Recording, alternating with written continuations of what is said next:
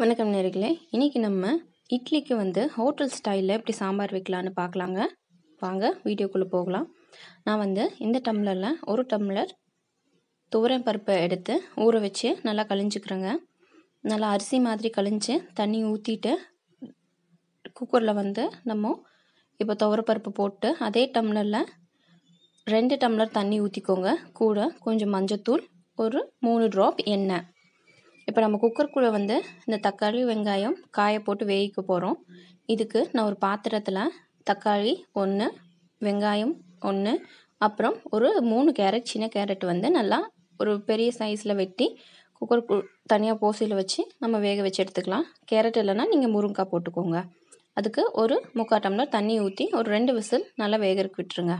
இப்போ நம்ம மசாலா அரைக்கிறதுக்கு என்னென்ன தேவைன்னா தனியா ஜீரகம் மிளகு கடலைப்பருப்பு வரமிளகாய் மூணு எடுத்திருக்கேங்க.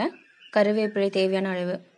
இப்போ நம்ம வடக்கல் வச்சுட்டு நல்லா காஞ்சதுக்கப்புறம் ஒரே ஒரு ஸ்பூன் எண்ணெய் ஊற்றிக்கிறேன் இப்போ எண்ணெய் நல்லா காஞ்சதுக்கப்புறம் ஒரு ஸ்பூன் தனியா ஒரு ஸ்பூன் ஜீரகம் போட்டு நல்லா மிக்ஸ் பண்ணிக்கலாம். இது கூடவே வந்து ஒரு பத்து மிளகு மட்டும் போதும். காரத்துக்கு நான் இது போட விரும்பலை. மூணு வரமிளகாய் ஒரு ஸ்பூன் கடலைப்பருப்பு அப்புறம் கருவேப்பிலை. கருவேப்பிலை வந்து நிறையா சேர்த்திக்கோங்க. அதில் வந்து அயன் ரிச் கண்டென்ட் வந்து நிறையா இருக்குது. இப்போது லைட்டாக வறுத்து விட்டுட்டு இது கூட ஒரு சின்ன நெல்லிக்காய் சைஸில் புளி கூடவே ஒரு கால் ஸ்பூன் ஜாகிரி. வெல்லம் எந்த வெள்ளம்னாலும் போட்டுக்கலாம். நான் இப்போ வந்து புளி ஆட் பண்ண போகிறது புளி ஆட் பண்ணணும். நான் வந்து எனக்கு ஆட் பண்ணிக்கல. ஸோ மெடிக்கல் சுச்சுவேஷன் காட்டி நீங்கள் புளி ஆட் பண்ணிவிட்டு ஜாங்கிரி இன்னும் கொஞ்சம் அரை ஸ்பூன் அதிகமாக போட்டுக்கோங்க. அப்புறம் கால் மூடி தேங்காய் போட்டு நல்லா மிக்ஸ் பண்ணி எடுத்துக்கோங்க. நீங்கள் இது கூடவே வந்து வெள்ளை உளுந்து பருப்பு ஒரு ஸ்பூன் சேர்த்திக்கோங்க. நல்லா ரொம்ப நல்லாயிருக்கும். நம்ம வந்து இதெல்லாம் அரைச்சிட்டு வந்தாச்சு. இப்போது அதே வடக்கல்ல நம்ம அரைச்சிட்டு வந்து பேஸ்ட்டை ஊற்றி இது பண்ணிக்கலாம். இப்போது குக்கரில் விசில் போயிடுச்சுங்க எல்லாமே நல்லா வெந்திருக்குது. இப்போ அதே வடக்கல் யூஸ் பண்ணி நம்ம அரைச்சிட்டு வந்தது எல்லாத்தையும் அந்த பேஸ்ட் அதில் ஊற்றி அதில் கொஞ்சம் தண்ணி ஆட் பண்ணி ஒரு ரெண்டு கொதி நல்லா கொதிச்சு வர மாதிரி பார்த்துக்கலாங்க.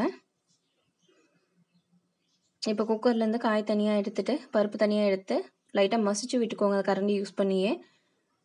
நீங்கள் கரண்டி யூஸ் பண்ணாலே அது நல்லா மசிஞ்சிரும். இதுக்கு மத்து பொண்ணு அவசியம் கிடையாது.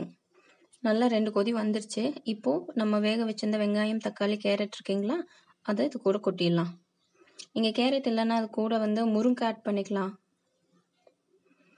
இதெல்லாம் ஒரு ரெண்டு கொதி வந்ததுக்கப்புறமா நம்ம வந்து துவரம் பருப்பு வந்து உள்ளே ஊற்றிக்கலாங்க நீங்கள் காரம் உப்பு பார்த்துட்டு காரம் வேணுன்னா மிளகாத்தூள் ஆட் பண்ணிக்கோங்க. உப்பு வேணுனாலும் ஆட் பண்ணிக்கலாம். நல்லா கொதிச்சிருச்சு. இந்த சமயத்தில் வந்து நான் துவரம் பருப்பு இருக்கு இல்லைங்களா நல்லா மசிச்சு வச்சது அதை இதுக்குள்ளே ஊற்றிக்கிறேன் இப்போது தாளித்து கொட்டிடலாம். அது ஒரு ஒரு அஞ்சு நிமிஷம் நல்லா கொதிச்சதுக்கப்புறமா ஒரு வடக்கல்ல வச்சு எண்ணெய் ஊற்றி கடுகு கொஞ்சம் பெருங்காயத்தூள் கருவேப்பிலை போட்டு தாளித்து உள்ளே கொட்டிடுங்க. இப்போ காரப்பத்தில் அப்படின்னா இது கூடயே ஒரு மிளகா சேர்த்திக்கலாம். நல்லா கொட்டியாச்சுங்க. நம்ம குழம்பு ரெடி ஆயிடுச்சு இப்போது சர்வ் பண்ணுறது மட்டும்தான் பாக்கி. நீங்கள் எந்த வகையான காய வேணாலும் போட்டுக்கலாம். ட்ரை பண்ணி பாருங்கள் பார்த்துட்டு மறக்காமல் எனக்கு ஷேர் பண்ணுங்கள் நன்றி. வணக்கம்.